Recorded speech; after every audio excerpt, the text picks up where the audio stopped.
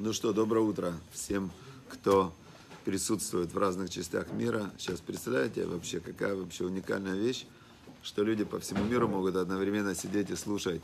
Да, и здесь вот приходят в Киеве тоже некоторые очень странные ребята, но да, да, да, давайте. Все, Яков Шатадин здесь, значит, мы начинаем. Мы остановились, 11 глава, и сейчас мы находимся 23 отрывок. То есть мы закончили о том, что красота, если она не подтверждена, да, всем привет, всем привет, Лилия Берман, мы закончились на том, закончили на том в тот раз, что как э, э золотое украшение в носу в, у свиньи, также женщина красивая, но у которой не хватает хороших качеств характера. Теперь дальше. 23 отрывок нам говорит такую вещь. Совсем переходит он на другую тему. И он нам говорит так. Тават цадитим ахтов. Эм, Тава вообще слово переводится вожделение. Вожделение цадиков только добро. И тикват решаим евра. Значит, а надежда злодеев, она проходит. Ну, как бы проходит, переходит, исчезает. Значит, э, опять надо разбираться с словами. То есть есть э, вот чем э, иврит это как лашона кодыш, это язык, которым Бог сотворял мир. И каждое слово имеет очень глубокую такую сущность, то есть его, его этого слова значение, это прямо вот так устроена реальность. Да? Бог там своими словами сотворял мир, и сказал Бог, стало так. И он говорил именно вот этими словами, то есть это как суть, суть, суть вещей. Теперь, значит, э, тава, вожделение, это когда человек просто что-то хочет. Да, это, это показывает слово стремление. Да, вот он хочет что-то. Теперь тиква, надежда, это он хочет, и он уже конкретно надеется это получить к такому-то числу. Вроде как цель у него уже есть, да? Значит, э, садик, он хочет только добро это как бы определение цадика, цадика, что его желание, вожделение он направляет только на вещи, которые называются добро. То есть они относятся, как мы знаем, кто такой цадик. То есть есть некая система, которая, вот человек живет в мире, он, он живет в системе каких-то правил. И у каждого человека, вот его спроси, вот ты сейчас что делаешь? Он скажет, я добро делаю. И бьет в это время другого. А что ты бьешь другого? Ну, потому что положено ему. То есть каждый человек, что бы он ни делал, он думает, что он делает добро. То есть, что бы он ни делал, каждый человек, э, как э, нам Шлома Мелах Кайлете объяснял, коль иш яшар бейнав, каждый человек прямо в своих глазах. То есть, если он что-то делает, так он делает, он считает, что он правильно делает. Но бывает, что системы координат, что такое правильно, что такое неправильно, что такое добро, что такое зло, они искривлены. И то, что для одного добро, он это называет добром, э, например, как я много раз приводил в пример, есть система, система мировоззрения, э, там воровские понятия, да, в которых полностью вот как бы воровские понятия, честный вор, то есть как-то они сместили такие вещи, которые, казалось бы, несмещаемые, да, то есть любой человек может придумать себе систему мировоззрения. Карл Маркс придумал систему там у богатых отобрать, бедным отдать. Бедным тоже не отдавать, он сказал. То есть все как бы общее, но никому не принадлежит. Ну какая странная система, да? А как у богатых забрать? А они злодеи, мы их называем злодеями, и если они не захотят отдать свое имущество, то мы их убьем. Почему? Ну как, если они злодеи, их же можно убить. То есть э, Карл Маркс придумал какую-то систему, и дальше люди в эту систему верят. То есть у каждого человек живет в рамках некой системы, где есть добро и зло. Теперь, но есть, э, если человек верит в Бога, то он понимает, что есть Создатель мира, который создал мир, и который назвал это добро, это зло. Это как раз было дерево познания добра и зла, первое. И он сказал человеку, не трогай с этого дерева, ты не можешь менять местами. Если я этот мир установил, это добро, это зло, все. А что сделал первый человек? Когда он взял плод этого дерева, то он начал менять местами понятия добро и зло. И он начал сдвигать эти понятия и жить уже в своем иллюзорном, под себя, то есть жить в своем придуманном мире, который уже не совпадал с миром, который создал Бог, в понятиях добро и зло. А когда ты выходишь из понятия добро и зло Бога, то тогда идет наказание или идет поощрение. То есть Бог э, сказал, что все равно мир мой. И мир будет двигаться именно так, как я сказал. Если вы нарушаете, значит, э, ну, значит вы как бы сами себя э, наказываете, да, скажем так. Теперь, значит, э, кто такой цадик? Цадик это тот, который выполняет волю Бога и который делает добро именно исходя из того, что Бог назвал добром. И цадик, по определению, вот этот праведник, это тот, кто борется с собой. То есть у него есть э, побуждения, э, которые плохие. И Бог специально так сделал человека, чтобы у него было побуждение к злу. Чтобы человек мог его преодолеть, стать садиком и получить награду. Вот такая примерная схема. Теперь Таават Садитим Ахтов. Значит, вожделение, желание цадиков, оно только добро. Здесь написано. То есть у цадика появляется, естественно, а вот эта сила, которая человека совращает, это воображение. Вот этот змей, который совратил первого человека, это было, он зашел в воображение. И у человека вот эти вот картинки, которые мозг его создает, они обычно его ведут в сторону зла. Так работает система. И цадик, он берет эти картинки, он их пере, перекручивает и ведет себя только к добру. Это цадик. Поэтому написано Тават садитим ахтов, то есть вожделение цадиков только добро. Теперь, настоящее добро. Тикват Рашаим Авра. А надежда злодеев, она, она пройдет впустую. Что значит надежда злодеев э, пройдет впустую? Это значит, что вот есть злодей, он себе понаставил цели каких-то там, даже это пускай будут э, просто материальные цели, но там нет никакого духовности, нет никакого Бога в этих целях.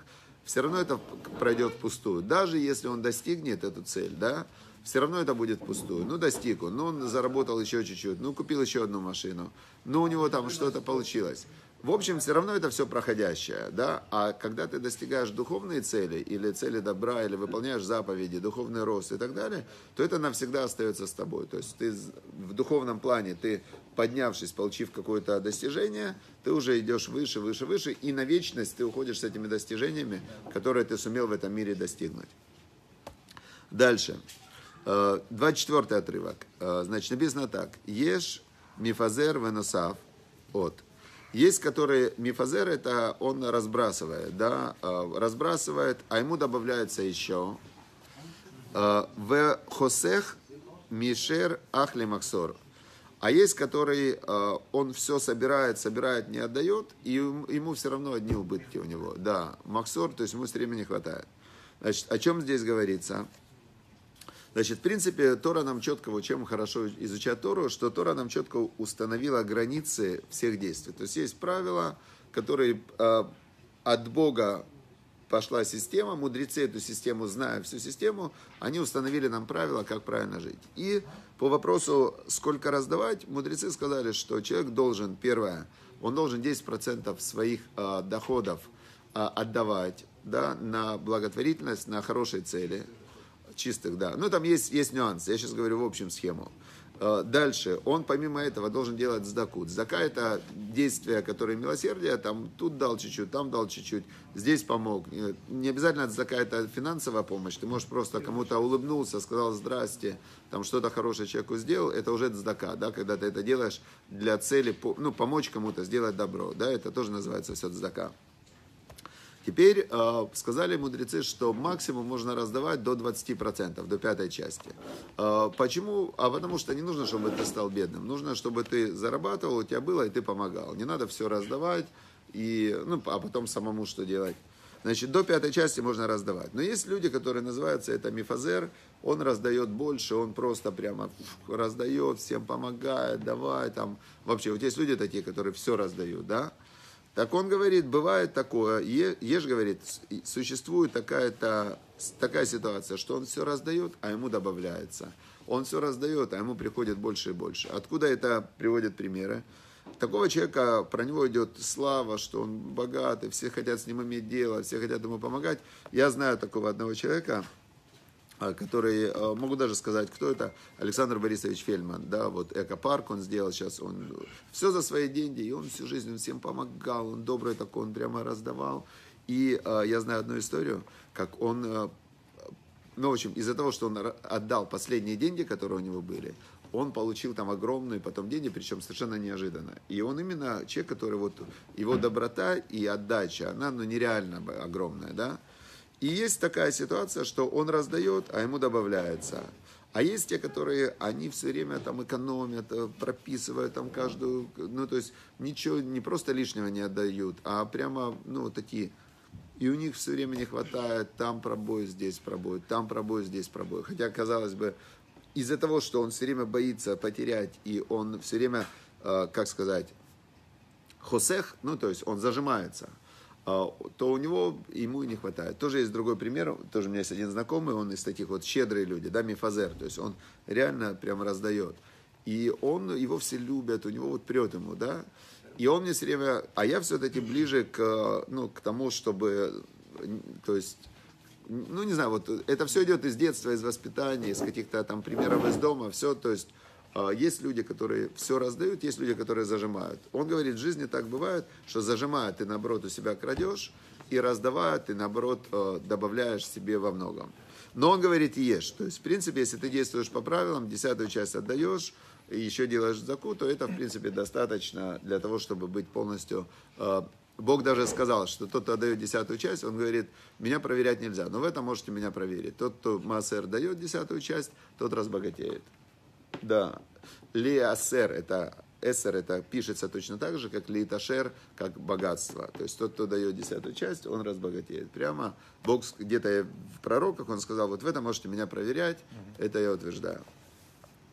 Теперь дальше, 25 отрывок. А, и если вот как раз Ольга Сигал, очень рада, что мы есть, можно выбрать, например, какого-то равина или какие-то материалы, которые вам нравятся, и, например, помогать распространению Торы. Это классно. То есть самое лучшее, куда вкладывать деньги, это распространение Торы или помощь э, другим, чтобы они, э, чтобы они обучались какой-то профессии. Это самая лучшая помощь, потому что главное не дать человеку рыбу, а дать ему удочку, научить э, ловить рыбу, чтобы он потом не нуждался. И это самая большая помощь, помогать людям получать профессии, чтобы они могли сами зарабатывать и э, распространять Тору, потому что без Торы человек не знает, куда идти, он все равно уткнется где-то в тупик, в стену. Поэтому две вещи, они первоочередные в Сдате. Помогать распространять свет Торы, и вторая, помогать э, получать профессию. Дальше. 25 отрывок. Нефеш браха ты душан, в марве гаму йоре. Значит, здесь очень это сложное э, сложное такое вот для меня предложение, потому что все слова редко используемые. А, значит, э, если мы посмотрим, вот нефеш, браха, ты душа. Значит, э, нефеш, браха, душа, которая делает э, благословенная душа, она будет насыщаться, дословно переводится, да? Нефеш, браха, ты душа. Слово браха, благословение, это переводится как увеличение. То есть даже все буквы там, бет это 2, реш это 200, каф это 20. И все эти буквы, они как бы в 10 раз увеличиваются. Ну, не в том порядке, но браха это, вот мы говорим, баруха та ашем, благословен ты Бог. Что мы имеем в виду? Чтобы Бога стало больше в нашем мире. Когда ты благо... произносишь благословение, ты увеличиваешь присутствие Бога в этом мире. Вот это слово браха. Так он говорит, нефеш браха, ты душа. Э, душа, в которой есть вот это благословение, увеличение... Потучнеет потучнее переводится на русский язык, ты душа это она потучнеет. То есть она будет э, полнеть, да? жирненькая будет такая, да. Так, нефиш, имеется в виду. Теперь я понимаю, почему есть очень много таких раввинов полных, да, потому что, и даже в Маре в Талмуде рассказывается про э, Раби Лазар, сын э, Раби Шиман Барюха был очень полный, да, э, Раби Лезер был Раби очень Йоханан. полный, Раби Йоханан был полный, то есть вот это отсюда они были полные что написано, благословенная душа потучнеет. Вот они потучнели. У Марве гам у юре. А, значит, Марве это тоже из этой же серии. Кто питает, тот будет напитан сам. А, значит, тот, кто Марве, гам у юре. Значит, тот, кто а, питает других, он сам напитается. Значит, здесь, если говорить по-простому, то переводится, что в, есть история в Талмуде, очень, не в Талмуде, это в Танахе тоже история, когда э, Сефер Рут, Медилат Рут, Значит, Медилат Рут это свиток Рут, который читается, про, она про бабушка царя Давида, как она про, прошла Диюр, пришла в Израиль. И начинается Медилат Рут с истории, как был Элимелах, один из самых главных людей в народе Израиля. И началась голод. И он э, для того, чтобы сохранить свое богатство, свое имущество, так э, он решил уйти, потому что все приходили к нему, и все у него просили деньги, он понимал, что или он сейчас все раздаст, и, ну, или он не может им сказать нет, потому что если ты говоришь нет людям, то это тоже преступление. И он думал, как быть? Все раздать я не хочу, говорить людям нет я не хочу. И он просто собрался, закрыл все там свои, ну, где у него были какие-то наделы, поля и все, и ушел, думает, пойду сейчас поживу в Мааве. И он ушел в Маав. Пришел он в Маав, поселился там, и сыновьями, с двумя. Э, Сыновья его женились на девушках-моавитянках в это время, как раз вот в нашей недельной главе. И в итоге умирает он, умирают его два сына, и они остаются вообще без ничего. И остается одна только Наама, его жена, и она, значит, э, то есть он ушел, чтобы спасти имущество, в итоге а, остается, он умер, сыновья умерли, остается, да, потерял жизнь, и остается только его, его остается жена, и вот дальше там идет Рут, как она вернулась, а одна из невесток сыновей Рут пошла вместе с ней, вернулась, она э, присоединилась к еврейскому народу, от нее потом пошел царь Давид, это такая интересная история. Но начинается она с того, что он э, не, не хотел, э, по- ну, в моменты голода он не, не спасал других людей, да, Теперь дальше. Вот и следующий отрывок, 20, получается, 26. Он объясняет 25. Моне Абар Икву Леом. Он говорит, что тот, кто Моне это останавливает продажу хлеба, его проклянет народ. И у брахали рош машбир. И браха благословение идет на голову того, кто продает. Машбир это тот, кто продает хлеб. Как раз нам сейчас очень сложно понять вот эти все сельскохозяйственные ну, выражения. Но раньше люди жили не так, как сейчас. Когда перешел в... Сейчас как люди живут? Самая большая проблема это в супермаркете выбрать, что купить. То есть вот это по питанию. Сейчас главная проблема это слишком обширный выбор продуктов. И ты, люди из-за этого впадают в стресс. Ученые посчитали, что сейчас один из самых главных причин стресса, что если бы, ну раньше ты приходишь, у тебя есть там два вида еды, и ты выбираешь, а сейчас 22. И ты все время в, в таком, знаешь, напряжении, что выбрать, да. А раньше не было такой проблемы. У них было или есть еда, или нет еды. Все. То есть, если есть еда, ты уже счастлив. Нет еды, значит, ты должен каким-то образом ее добывать. Все. Вот это у них была жизнь. То есть, они жили в другой как бы системе координат. Теперь э, здесь рассказывается о том, что когда, э, когда вдруг голод, а у тебя есть, то какое у тебя побуждение первое? Зажать. Но если ты зажал, у тебя есть хлеб, э, и ждешь, пока оно подорожает, а потом собираешься продавать, тебя проклянут.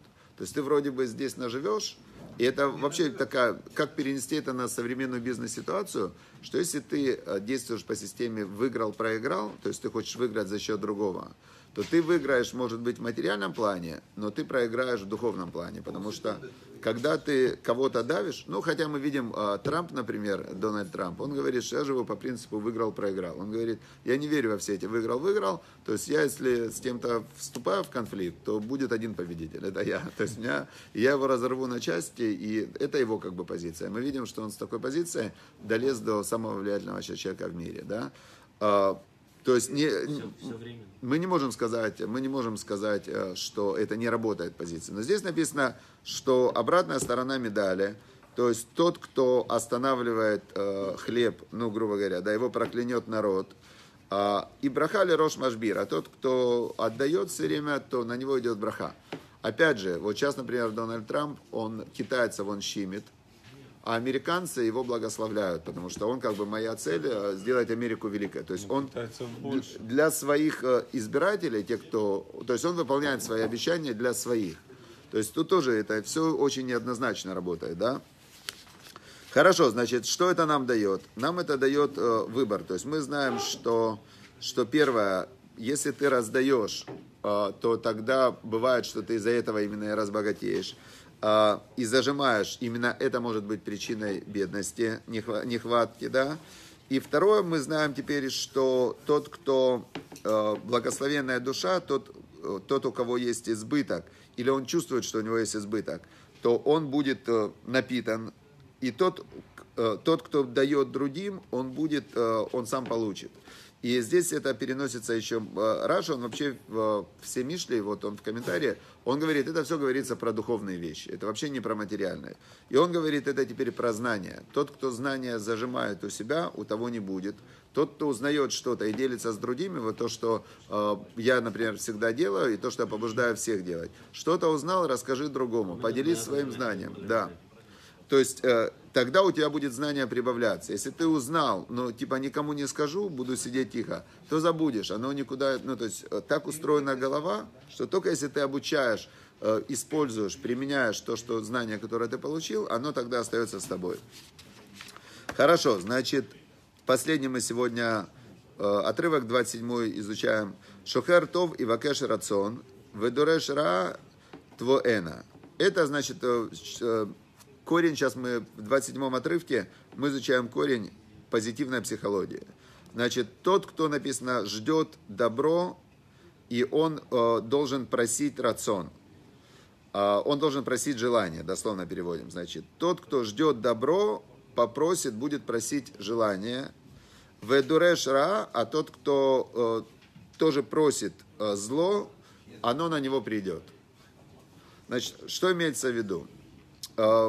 Мышление человека так устроено, так вот сделал Бог, специально запрограммировал.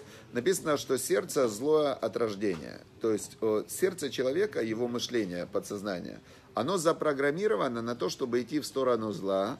Для чего? Для того, чтобы ты мог это, это, с этим бороться и перевести себя на сторону добра, стать садиком и получить награду. Это по-простому. Это написано везде, это в, написано в Торе. В Торе, в Кумаше написано «Лев э, Адам Рамина Араф». Прямо в книге Берешит написано, что сердце человека Рамина Араф с его детства. У Бепетах хатат ровец, и в Элехат шокато, и у входа лежит э, грех, и к тебе его стремление. Дальше этот смысл, это, эта схема, она видна во многих местах. Например, в Пертиавод написано «А, Аверат Сахарай Мицва Вабарах Мина Авера гонись за заповедью и убегай от преступления. То есть, почему я должен убегать от преступления? Оно гонится за мной. Почему я должен гнаться за заповедью? Оно убегает от меня. То есть, для того, чтобы была равновесная система, понятно, что добро лучше зла, но, но тогда не было бы свободы выбора. Поэтому зло сделано привлекательным, а добро ты должен сам сделать привлекательным. То есть, ты должен сделать усилия, чтобы оно стало привлекательным. И здесь нам объясняется, что тот, кто э, гонится за добром, он должен вначале попросить рацион, попросить желание. То есть у, у обычного желания направлено на плохое. Теперь, если я хочу гнаться за хорошим, то я должен в молитве просить Бога, дай мне желание к Торе, дай мне желание служить тебе, дай мне желание э, двигаться в правильном направлении, и нужно пробуждать в себе это желание. То есть, как бы, как, тут двойную надо сделать работу. Тот, кто хочет идти в сторону добра, ему нужно вначале себя на это накрутить, как бы пробудить желание. А тот, кто, тот, кто дореш ра, дореш это, значит, голова сама, она производит мысли, ну, мысли в сторону зла. То есть всякие картинки, которые в голове у человека, да, они его вот все, что воображение подгоняет человеку, оно ему подгоняет именно что-то, ну, или запрещенное, или аморальное, или ведущее к ожирению. Все. То есть вот это вот воображение работает только в, в этом направлении. Теперь в хорошем направлении, как быть представить себе, что я делаю мецву какую-то, и от этого получу Тору. Вот давайте представим, я сижу с книжкой, белая книжка, черные буквы, я сижу в бейт мидраше где э, там, и что это? Это вообще не привлекательная картинка. То есть, чтобы ее сделать привлекательной, нужно очень сильно постараться. Теперь, а теперь давайте представим, пляж пляж, значит, э, э, да, да, дальше не надо продолжать, потому что э, сразу тут пиво холодное, там, ну, ну все, оно прям само всплывает э, совершенно легко и без напряжения. Теперь тот, кто э, дорешера, тот, кто запускает себя вот в этот вот э, негативный, ну, не обязательно это негативный, да, то есть э, подсознание человека может или вести его к преступлению, к запрещенным вещам, или пугать. Вот две, две главных как бы темы, у, когда ты отпускаешь свой мозг, он тебя или пугает, или он тебя э, соблазняет сам по себе. Теперь, э, если ты это отпускаешь на самотек, то оно приходит. То есть тогда мышление, если ты долго о чем-то думаешь, то оно как раз производит именно в реальность, да. Вот это то, что здесь написано, что тот, кто э, ждет добро, он должен и вакеш рацион, он попросит, он должен пробудить у себя желание в этом направлении двигаться, и вакеш попросит у Бога, чтобы Бог дал ему рацион. Когда мы говорим о чем-то хорошем, то молитва так звучит, ей рацион милифанека, пусть будет воля перед тобой, чтобы я двигался в правильном направлении. То есть это молитва, мы просим Бога, чтобы Он свою волю направил, и мы просим себя, чтобы мой рацион двигался в правильном направлении, мое желание. Теперь, а если отпустить себя, и мышление само ведет себя дальше, ведуреш ра, тот, кто дуреш, э, лидрош, это ну, ткать это тоже. То есть тот, кто просто этот процесс запускает, мышление в сторону зла, или в негатив, или в э, беспокойство, или в страхе, или наоборот вожделение. То есть любое мышление, когда ты его отпускаешь в том направлении, как написано, твоено. То есть именно оно его и приведет. То, о чем ты думаешь, оно приходит в твою жизнь. Все, дорогие друзья, значит, что мы сегодня выучили? Давайте посмотрим, какие уроки можно сегодня извлечь. Три главных урока. Что садик должен хотеть, вот начали, начали с 23 отрывка, только хорошее. То есть нужно заряжать свое мышление и хотеть хорошее. Этим определяется садик. Теперь, чтобы хотеть хорошее, нужно попросить у Бога, чтобы Он дал тебе силы хотеть хорошее. И нужно себя настроить, чтобы ну, прямо держать свое мышление в направлении хорошего. Да? Теперь э, верующий человек, он э, создает добро, и он раздает, он помогает, он, он создает вокруг себя условия, чтобы был избыток, чтобы была браха, и Бог ему дает браху тоже. И, значит, э, ну, все, в общем-то, да, это вот три вещи, которые я понял. Да, теперь э, напишите, пожалуйста, что вы поняли, что вы поняли, и три главных вещи. И поделитесь, потому что нельзя останавливать. Что-то узнал, что-то понял, расскажи трем людям. И когда три, э, три человека вы вслух хотя бы расскажете, еще я узнал такую дополнительную вещь, у меня была система сверхобучения 3П, а сейчас она будет 4П с сегодняшнего дня. Я вот именно сделал вчера, как раз прямо мне пришло открытие вообще. Была система сверхобучения 3П. Когда ты поучился, нужно понять, что ты понял, потом, что ты планируешь сделать, и с кем ты поделишься. Это было раньше 3П. Сейчас четвертое П, повторить нужно три раза. То есть нужно повторить на завтра, через неделю и через месяц. И тогда оно навсегда остается. То есть, если что-то важное для тебя есть, то ты должен себе поставить в плане, повторить это четыре раза по системе, которая называется Эббингауза, она, по-моему, называется. То есть, чтобы не забывать, есть исследования, надо четыре раза повторить именно с такими промежутками. Через 15 минут, это как раз ты кому-то рассказал, на завтра, через неделю и через месяц. 4П, система сверхобучения 4П. Все, друзья. Удачи, успехов, действуй, я знаю, ты можешь. Пока.